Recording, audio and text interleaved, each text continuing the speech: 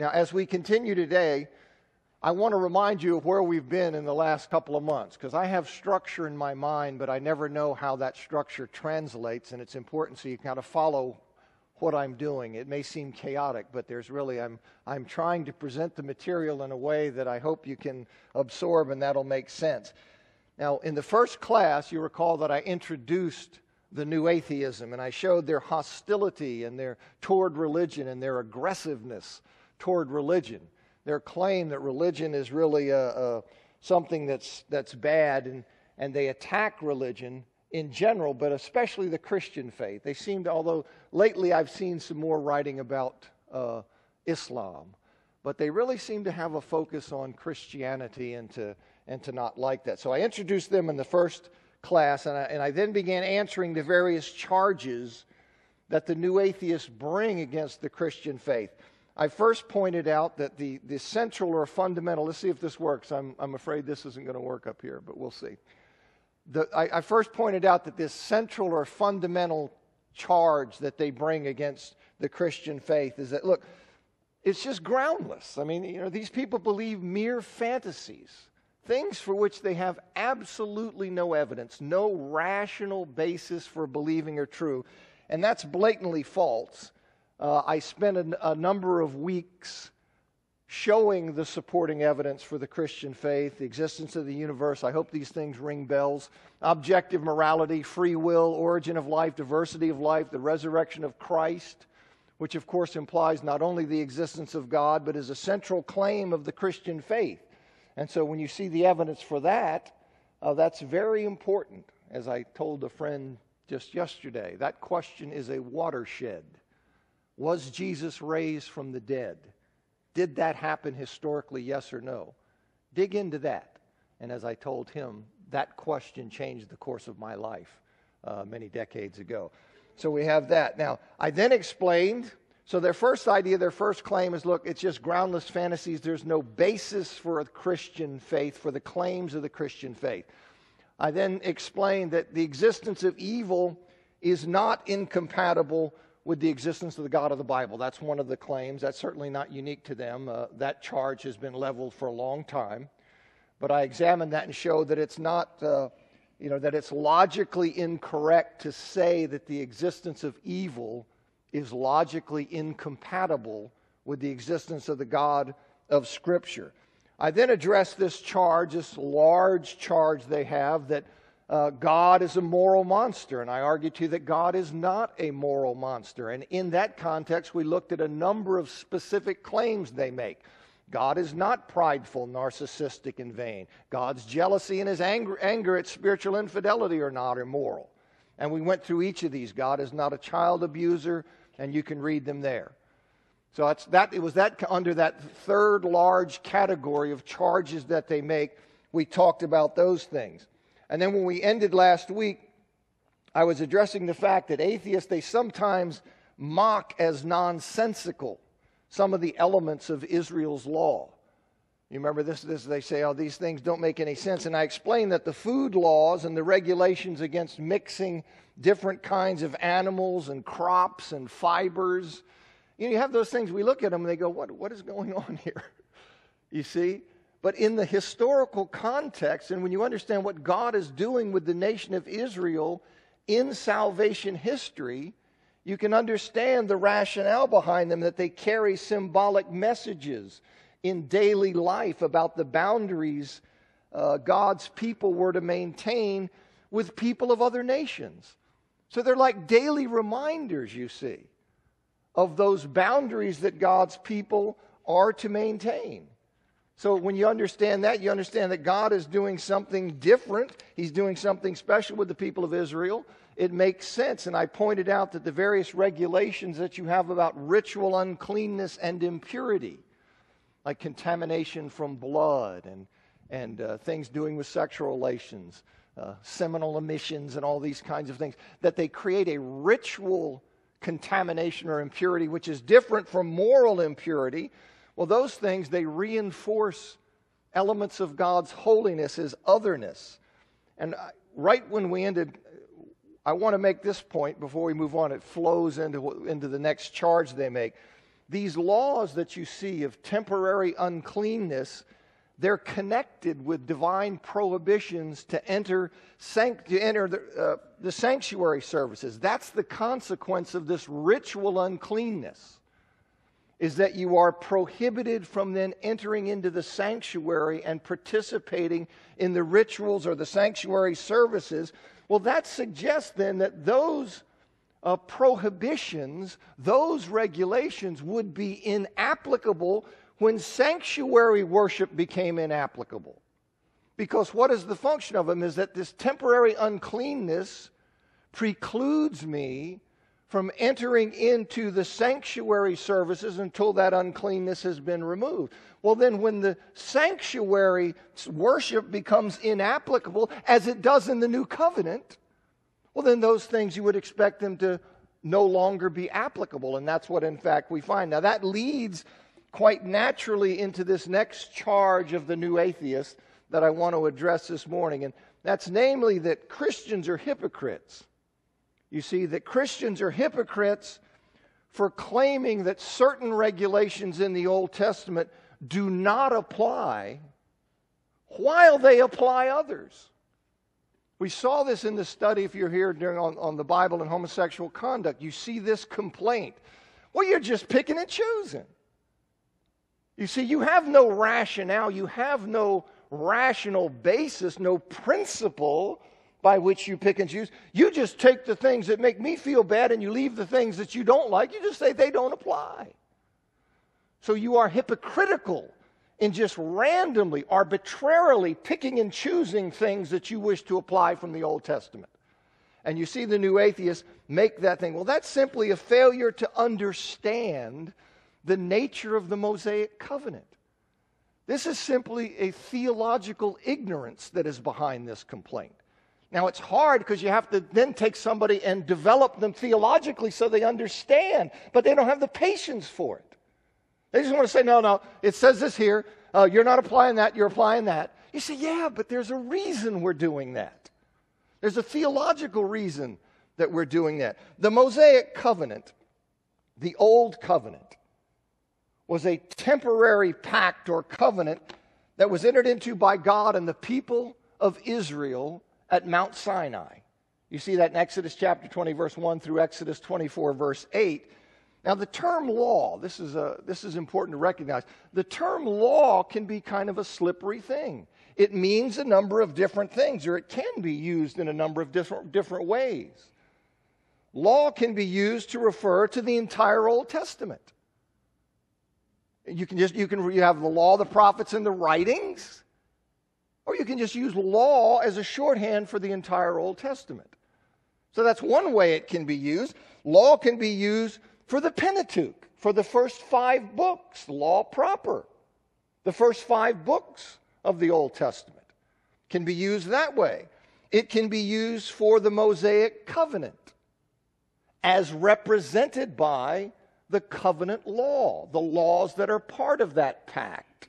So it can be used for the Mosaic covenant and it can occasionally be used just generally for a principle or a rule. So there are a number of different ways that law can be used, but it's most often used. It most often means, particularly in the New Testament, it refers to that set or package, and I beat this to death because it's, it's important, or group or unit See, that set or package of commands that were part of this covenant, this pact. This pact and this agreement has embedded within it a set of commands, do's and don'ts. And it most often refers to that.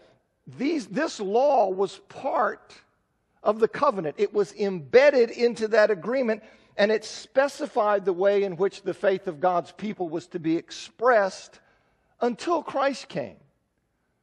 So it is this set of laws embedded in this covenant or pact, this unit of laws, this body of laws that are part of that covenant.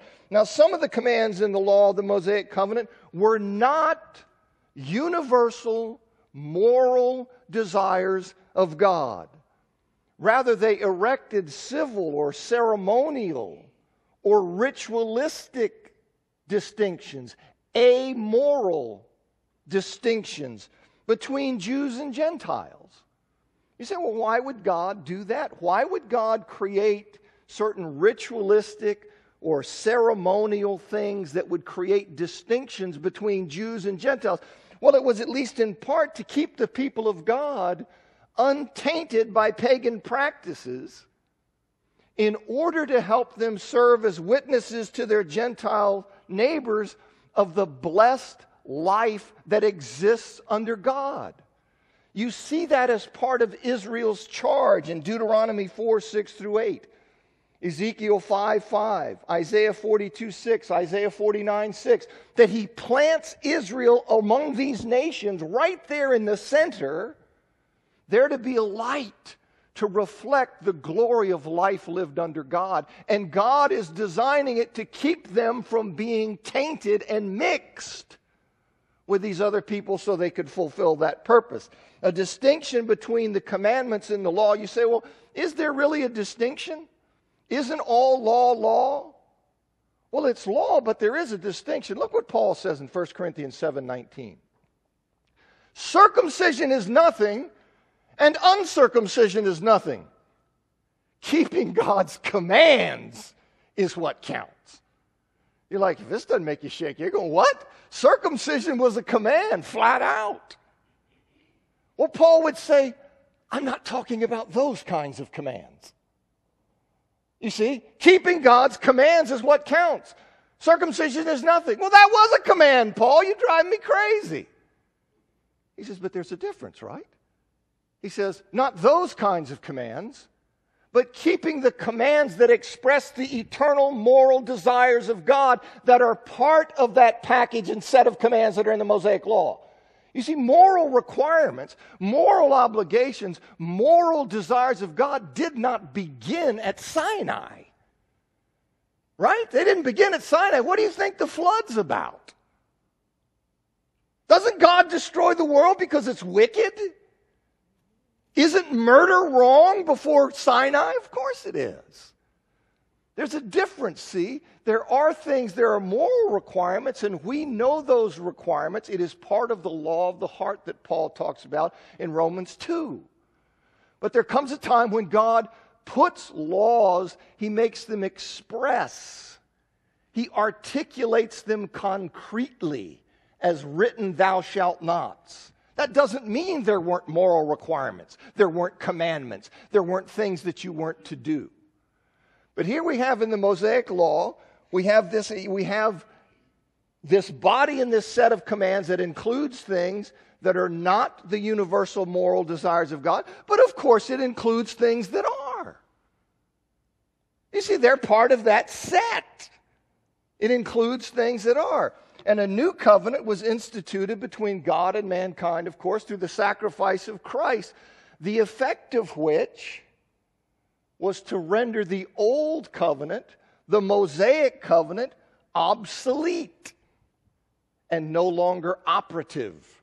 You see, and you see here just some text the Mosaic covenant, covenant rendered obsolete. So, uh, and I'm sure there are others that we could look at. But so this is the effect. This new, God institutes this new covenant, and the old covenant is thereby rendered obsolete. And with the fulfillment in Christ of this planned obsolescence of the old covenant, the Mosaic covenant, well, the Mosaic law, the set of commands that were part of that covenant, that were embedded in that covenant, they cease to be binding. The law ceased to be binding. The Mosaic law, that is part of that covenant that has been rendered obsolete by the coming of the new. Well, the law that's part of that pact or that covenant is no longer binding. And you see that said in those texts Romans 10, Galatians 3, Hebrews 7. But you also see it in the fact that there are specific regulations that were part of the Mosaic law, such as Sabbath regulations food laws, circumcision, see, which are specifically said in the New Testament to be no longer binding. See, they're no, so you, you can see, see that the law ceased to be binding. That these things that are spelled out there, well, now under the new covenant, those things are no longer binding. You see, that's why Paul, Paul could say in 1 Corinthians 9:20, he's a Jew, and yet Paul can say to the Jews, I became as a Jew in order to win the Jews, to those under the law, which is just another way of saying the Jews. I became as one under the law, though not being myself under the law. What? No, Paul says, I'm not under the Mosaic law because the Mosaic law passed with the obsolescence of the covenant. That was a huge part of the problem. You had people who would refuse to accept that because they had become so invested in the Mosaic law and its privileges and its distinction, the distinctiveness that it gave them, that they clung to it beyond the time of its planned obsolescence. They would not let it go. That's why they kept insisting it had to be bound on Gentiles. And the answer to that is what? No, it doesn't. No, we got this body of laws, the Mosaic law, all of these commands, which include Sabbath, food laws, circumcision. It's the whole kit and caboodle. Got to be put on the Gentile. No.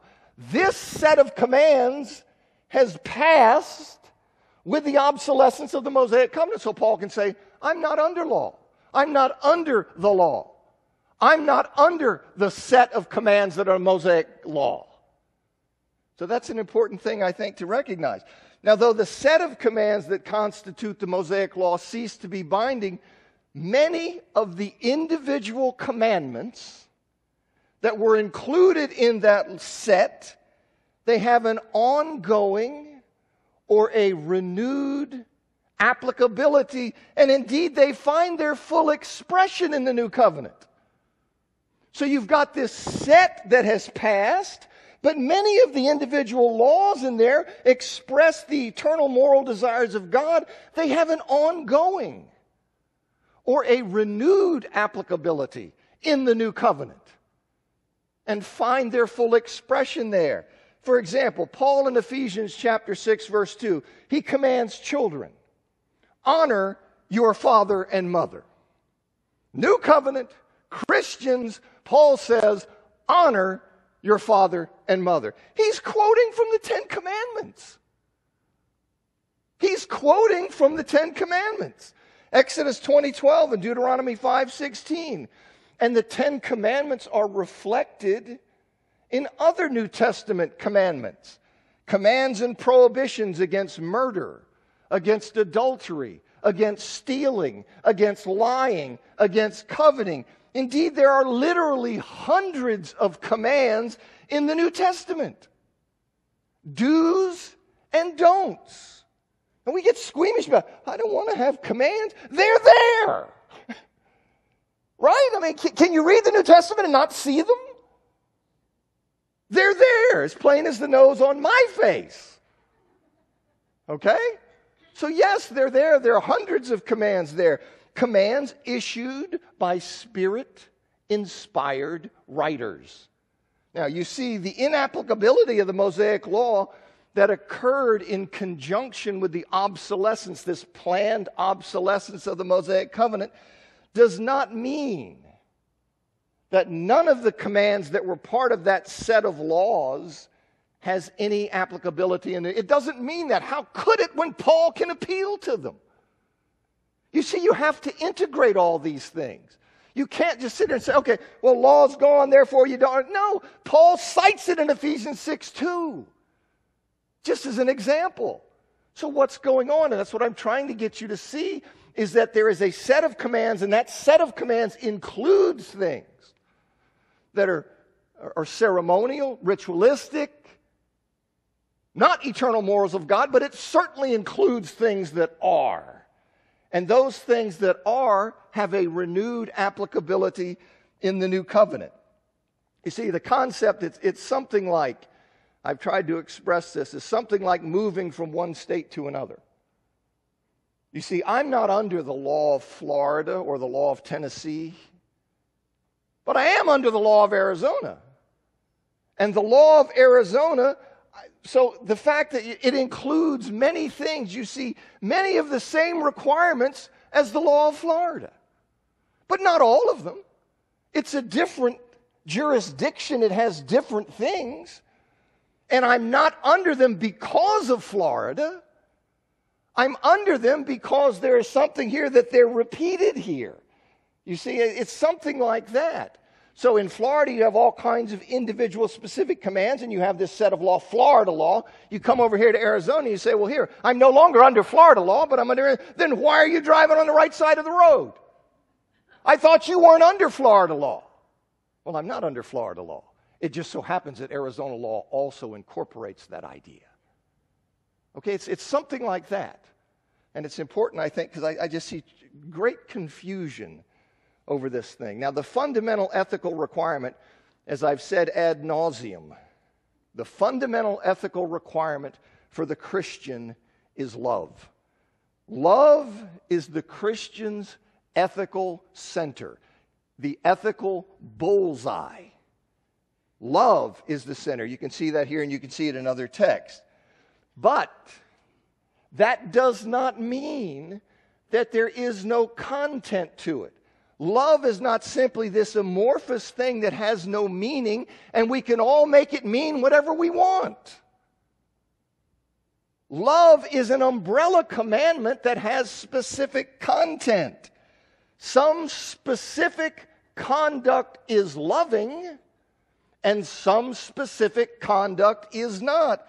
Love is the center, but there are definite, specific requirements for how love expresses itself. You don't get to say, I'm loving my neighbor by sleeping with his wife. You don't get to define love that way. There is objective truth about what is involved in loving. You see, it doesn't just be, well, I want to go with love. Why? I really want to go with love because I think it's this, you know, this concept that has no content so I can move anything I want to in it. I can basically then be God. That's not the case at all. You see, not the case. There are definite requirements on how love expresses itself. As Paul indicates in Romans 13 9, let me read this is 8 to 10. I'm going to focus on 9. He says, Owe no one anything except to love each other. For the one who loves another has fulfilled the law. The one who loves another has fulfilled the law. We think in some kind of mystical sense. No, they fulfill the law. Why? Because the law, loving one another, means doing the things that the law has specified. He says, For the commandments, you shall not commit adultery, you shall not murder, you shall not steal, you shall not covet, and any other commandment are summed up in this word you shall love your neighbor as yourself. Do you see? I mean, it's not that difficult. It is, it is the umbrella, but it has content. So if you steal, you're not loving. If you covet, you're not loving. If you murder, do I have to tell you you're not loving? Right? You see, so these things, the, the category, the, um, the umbrella is love, but it has specific ways in which it expresses itself. Love, love does no wrong to a neighbor. Therefore, love is the fulfilling of the law. Why? Because love, you don't do wrong. What is wrong? Wrong is killing, wrong is stealing, wrong is coveting, wrong is committing adultery. You see? That's an important thing, I think, to grasp. So the Christian, though not being under the Mosaic law, not being under that set of commands that are part of the Mosaic covenant, the Christian upholds the transcendent moral requirements that are included in the Mosaic law. Okay, you think about murder. Like I said, it was wrong to kill before Sinai. Okay, well, that then gets expressed in the Mosaic law as the greatest expression of God's moral desires up to that time. And then, as that covenant is rendered obsolete, that set of commands is not binding, but those particular individual commands can. do So it's still wrong to kill. It was wrong to kill before Sinai. It's wrong to kill after Sinai. You see? So these things come through, they continue. So the idea, law, I'm not under law. You, there's no, no right and wrong for me, no do's and don'ts for me. Oh, you're bringing in the law. No, I'm bringing in commandments and the moral desires of God. You're not free from those. God has a moral will and He calls you to live that way. How can you read the New Testament and not know that? There are plenty, plenty of places where you and I are commanded to be a certain way. All right? So we're commanded to be a certain way. These things come through. The Christian upholds those transcendent moral requirements that are included. This is what Paul's saying right here. Right? This is what he says. You shall not commit adultery, steal, covet, any other commandments. Some you shall love your neighbor as yourself. So you are under those moral requirements. This ongoing moral law that is centered in love, this is what is meant by the law of Christ. You see, the law of Christ. That is a term, you know. Law of Christ is a term. What does it mean? This is what I'm telling you. The bullseye is love that expresses itself in objective ways. And that is the law of Christ. Paul says to those in 1 Corinthians 9:21, those outside the law I became as one outside the law, not being outside the law, but under the law of Christ. He said before, I'm not under the law. He's not under the Mosaic law. Well, that's true. Why? Because the Mosaic law has passed with the obsolescence of the old Mosaic covenant. That set that was embedded in there that was part of that is inapplicable. But that doesn't mean individual requirements there are not. And so Paul can then say, I'm not under that law, but I'm under the law of Christ. The law of Christ doesn't include Sabbath regulations, food laws, circumcision, and some other things. But it does include murder and lying and coveting and stealing and all of those things. You see, all right, Galatians 6 2, bear one another's burdens, so fulfill what? The law of Christ. All right, so there's a clear biblical rationale. Why am I saying all this? I'm saying all of it because I like you to hear this uh, just independently of where it fits in this atheism thing, because I think this causes so much trouble. It's just like, you know, it's like the confused thinking and you say, say stuff that just doesn't make any So you're, you're taking people that are going, What? I don't understand. But I want to say it for that reason, but I'm saying it here because, because there's a clear biblical rationale for not binding aspects of the Mosaic law related to these things like food and circumcision and Sabbath and other amoral elements that are related specifically to Israel's role as a theocracy.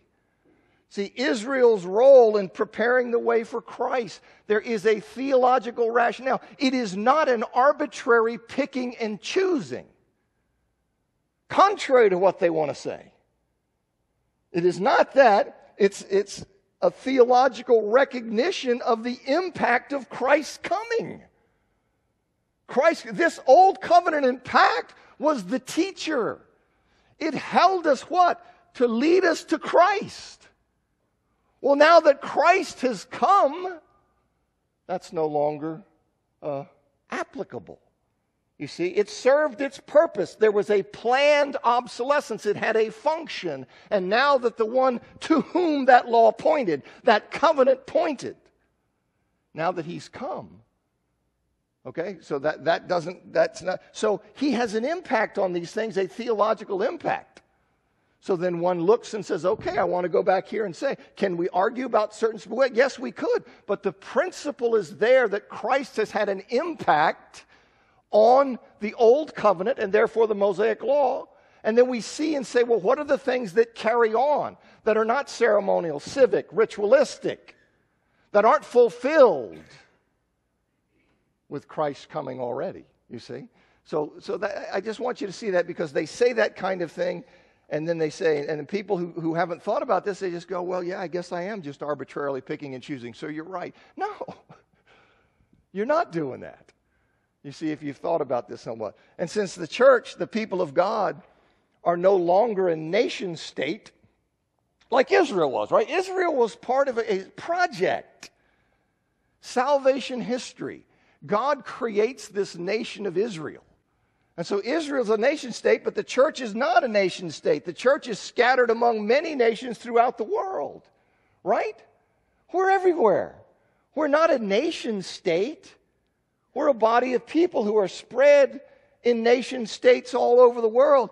And because of that, you see, the fact that God, God obligated the nation state of Israel to impose certain penalties for various sins, that doesn't apply to the church. So sometimes they'll say, well, look, it says over here in the Old Testament that Israel was to do this for this sin or do this for this crime. And you don't believe we have to do that? I said, yes, I don't believe we have to do that because we're the church and not a nation state. Right? Look at Tim Keller. He, he says this. He says this about that. He says the church is not a civil government.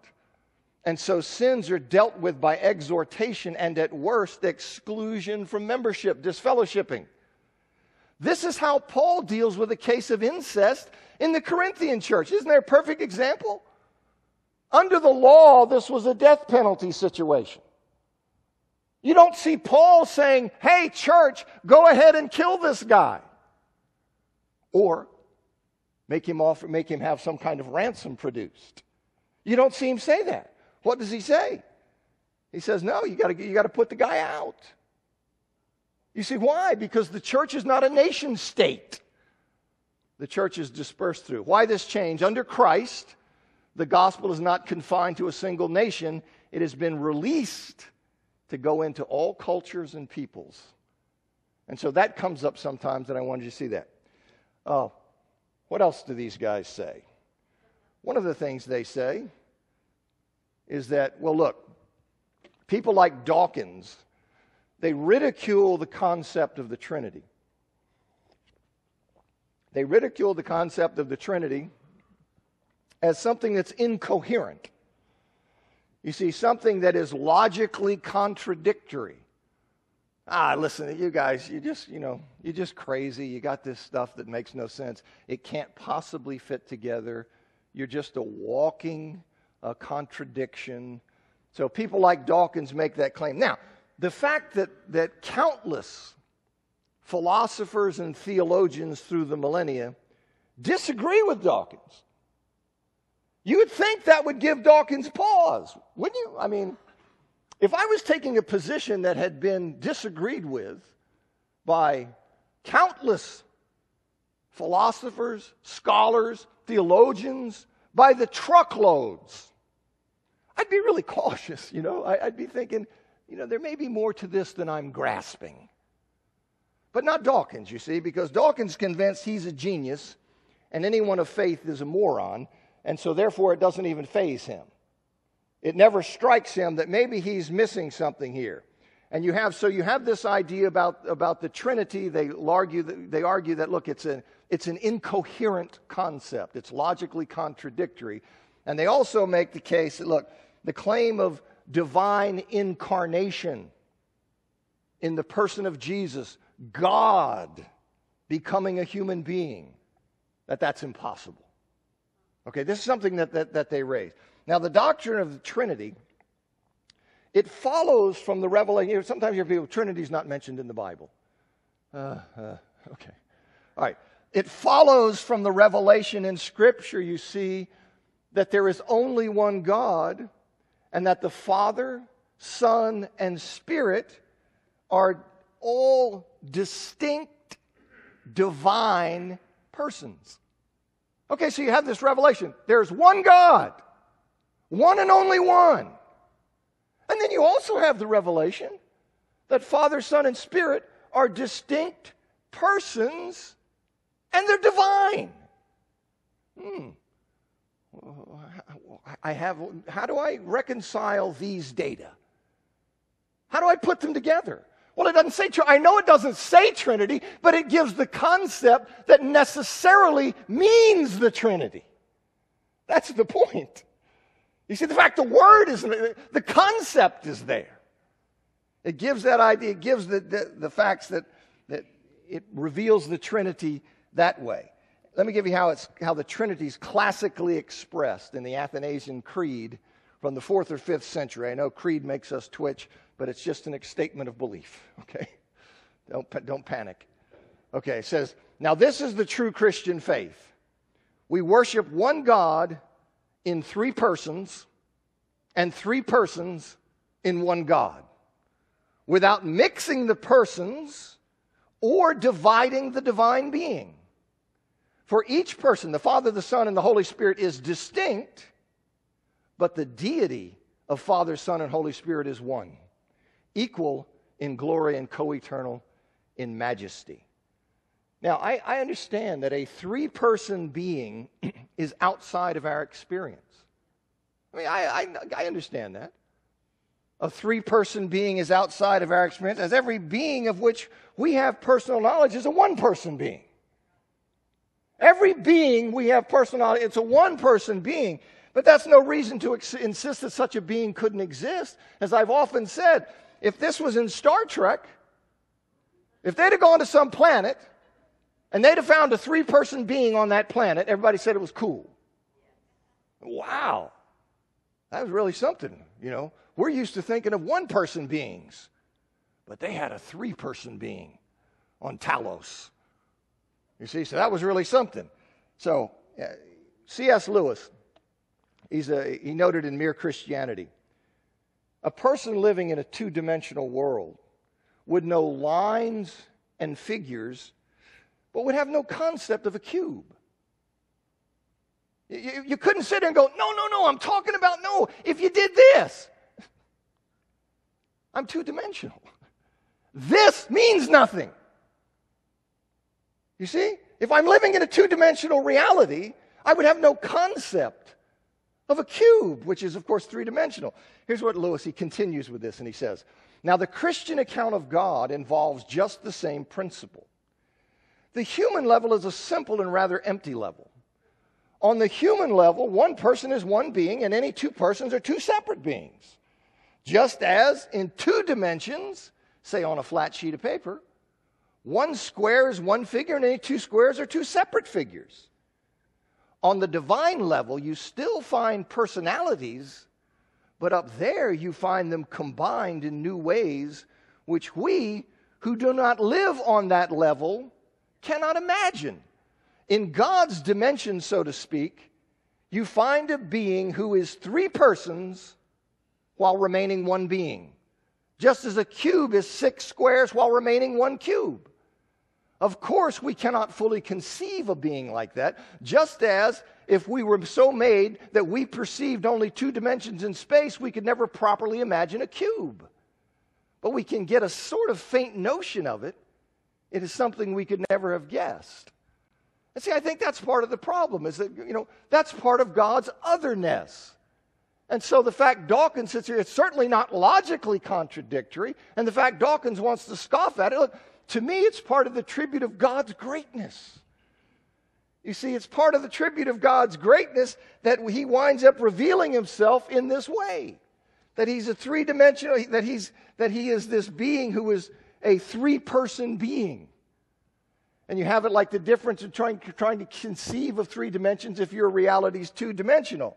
Now, the incarnate, now, this fact, this revelation of the nature of God, the fact it's so unexpected the fact it's so difficult to wrap our mind around and so outside of our experience, that says to me that it's not the kind of thing somebody would have made up. You see, if I'm trying to make up something to get over on you, if I'm trying to invest my ideas with credibility, I don't want to get out there that's something beyond your experience because you'll be going just like Dawkins. But see, the fact that's how it's revealed says to me that is God. You see, that is God. So it actually reinforces my faith rather than challenges it. It says, This is the kind of thing I would expect from God. Now, in the incarnation, you don't get any bigger mind blower than the incarnation.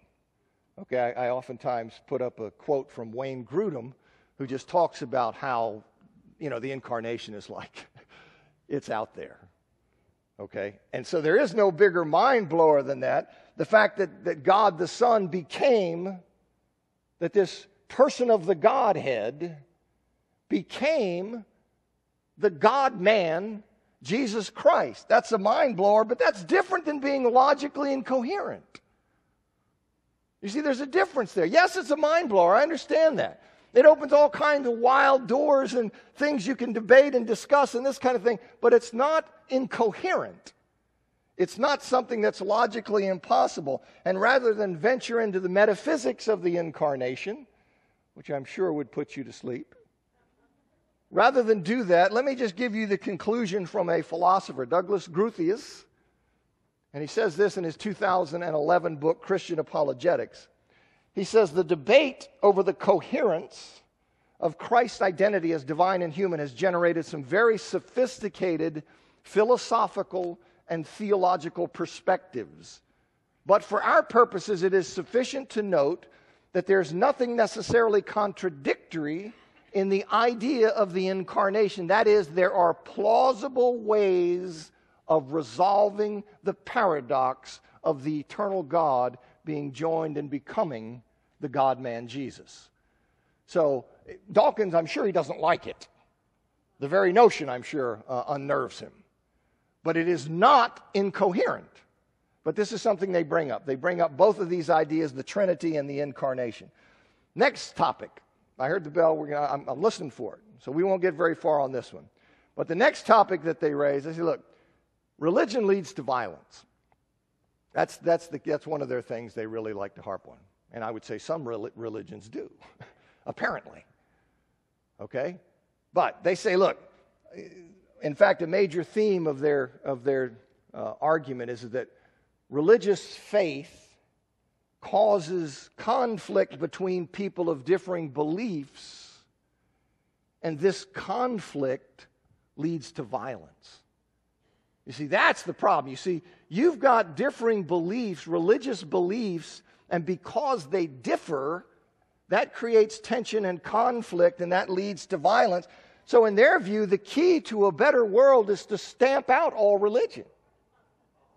This is, they mean this. This is what they want. They think that a world without any religion would be this kind of ideal, wonderful place, and there would be no, you know, uh, you know, like John Lennon's song, no heaven above us, you know, uh, all of that, and it would just be wonderful. Okay, well, that's of course nonsense, uh, as I'll say probably next week, but I'll carry on till the bell rings. All right, now, in terms of Christianity, what do these guys say? Well, they point to the Inquisition. They point to that. You know, this is a campaign of the Roman Catholic Church against heretics that began in the 12th century. And there were, you know, terrible things done. It went on for, for a number of centuries. And they employed these, these tortures to root out heresy uh, and to enforce orthodoxy. So they point to that. Now, in terms of scale of the kinds of things I'm going to talk about that come from our atheist friends, this is nothing. But it's still inexcusable. And so they point to that. They point to a number of other things. Next week, Lord willing, I'll talk about those. And then what I want to finish with, it's not really part of the new atheism, but I want to talk about Bart Ehrman's claims that you can't really trust the text of the Bible. Okay, so I'll spend some time talking about that. Then that'll finish and uh, it'll be yours. Thank you.